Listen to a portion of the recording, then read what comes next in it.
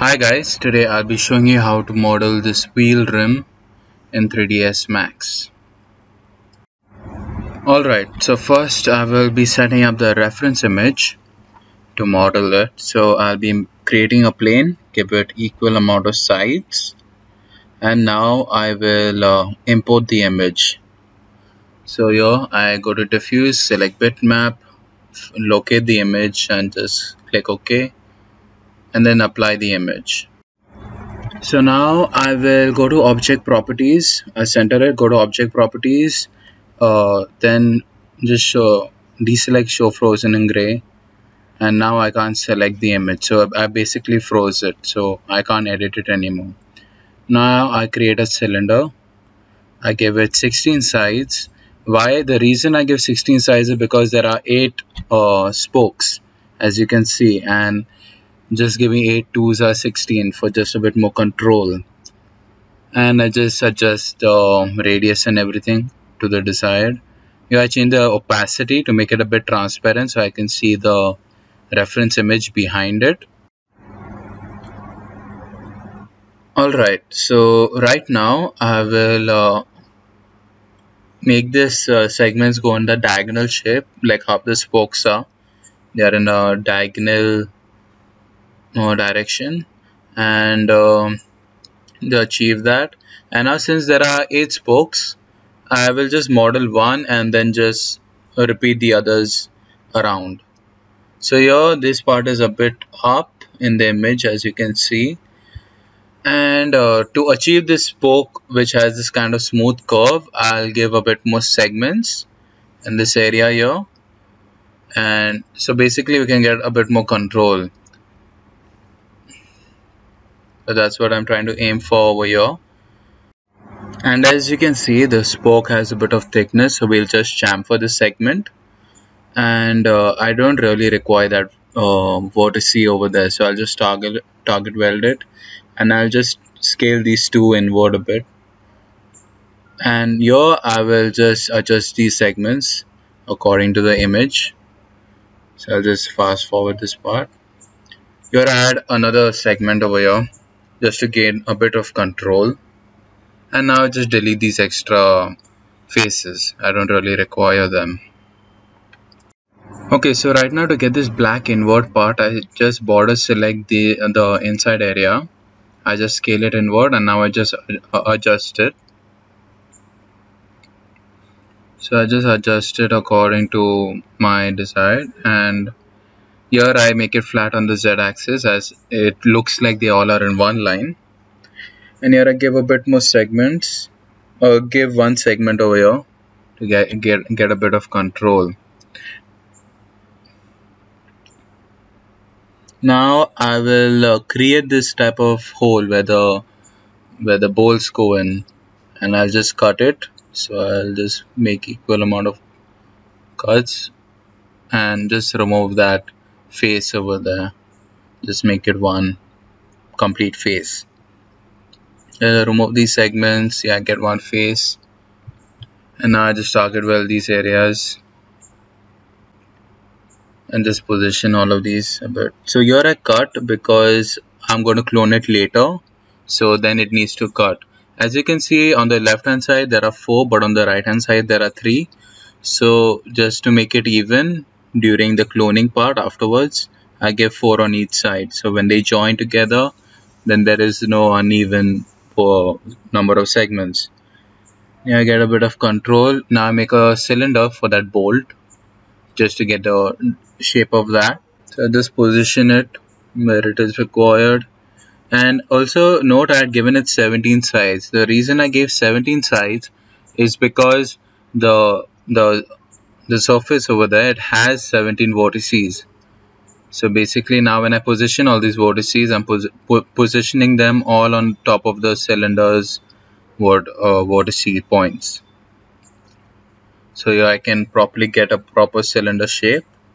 And I'll just pu push it down and put it on one z-axis level.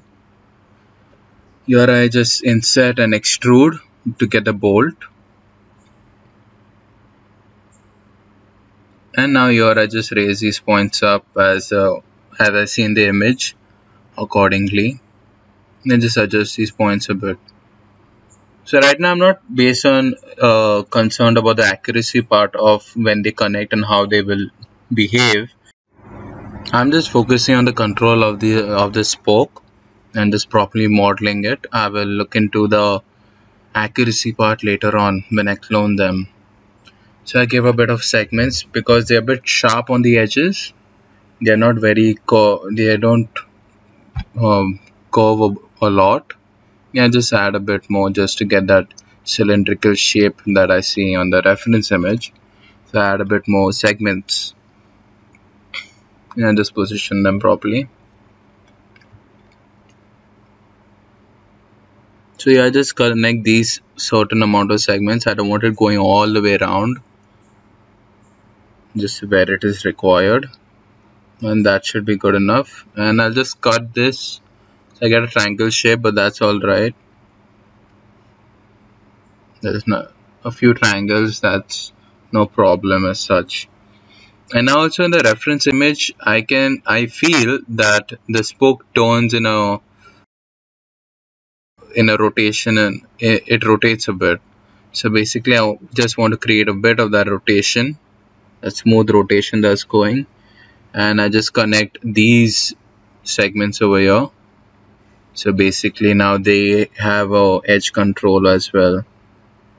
And here also if you notice I select both the outsides and adjust them is because also when they clone they will be in the same they should be in the same line so they can weld properly. So that's why I put them I uh, increase the height together and not individually. Here also I just add some few more segments to gain that edge control that is required. And I just change the pivot to center it so that I can rotate around the midpoint. So basically right now I will just scale it up a bit. So just get it a bit more bigger because I will have to weld and welding goes by mm for me. So I don't want any problems. So right now here there are eight sides and I uh, change the settings of the angle snapping to 45 because 360 uh, degrees divided by 8 is 45 degrees. And now as you can see here I'm positioning these uh, parts very close to each other as you've seen over there so when I weld them together now I'm just attaching attaching all of these. Now when I weld them together I'll select all of these points first. So first I will select all those points which were the ones that should be welded. So I just select all of them.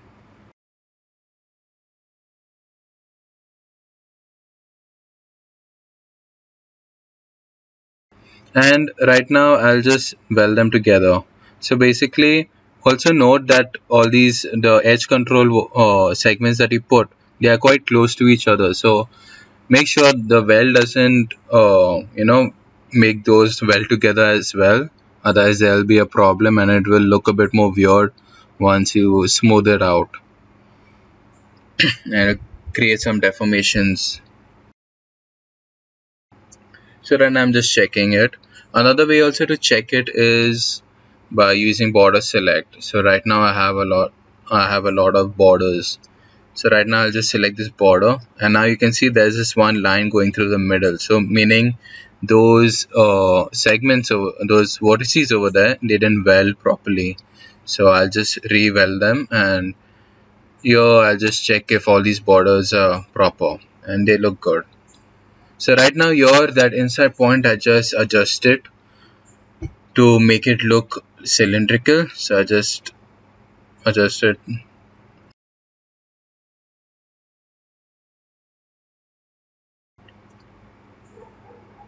And that looks mm, decent enough. So now I intrude it and insert sorry and just extrude there a cap and another insert and a ring to get a bit more of that kind of uh, bevel look